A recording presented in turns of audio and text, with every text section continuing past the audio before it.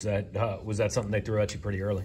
Uh, I snapped a little bit in high school, just you know, trying to be as good as I can. Never know, but yeah, when I got here, fall camp rolled around, I got moved to center. So, what are the big differences there versus versus working outside? uh, first snapping the ball, I'd say is probably the biggest one, and then just how close the game is. I mean, at tackle, you probably got two, three feet to your opponent. At center, it can be six inches to a foot. So. What's it like having, you know, the experience you guys have on the offensive line this year? You look at Xavier, you look at Connor. What what is it like kind of working next to them and kind of getting that experience? Uh, it makes my job a lot easier. I mean, at the end of the day, you know, having guys that have a lot of starts.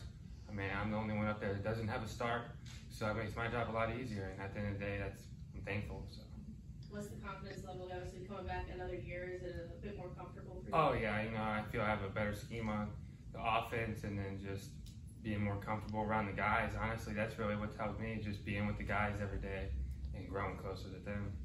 Can you take us through kind of the responsibilities as far as you know the center's usually the guy that's that's got to you call out Yeah, all the so, blitzers? Uh, just you know, making the Mike ID and then pass protection, slides, you know, and then you know when things don't go how you thought they were, the X's and O's don't line up where you thought they were, you got to make changes, and that's my job. So that's what I do. You've been handed a pretty good opportunity to, to get a start at centre. I'm just wondering how you, uh, you know, while you're going through fall camp, how you're, you know, keeping yourself present, keeping yourself in the moment. Just trying to get better every day. Honestly, if I get better every day, then the team gets better. So I'm just trying to do my job. Connor, this past off season, you know, having been through a full season, what were some of the bigger takeaways you took from last season that you maybe worked on this off season? Uh, preparation, you know, get my body right. Uh, preparation before, you know, I don't think last year I maybe did enough uh, outside, off the field as I needed to. I think that's what I'm trying to do more this off season is get better in the weight room and then try and get my body right because it's a physical game.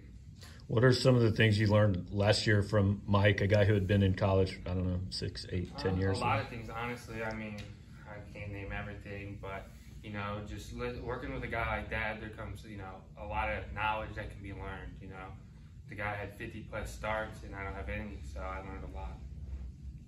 You're, you're a lot taller than Mike. Does, does that give you any advantage or disadvantage playing center when Uh, you got to be low?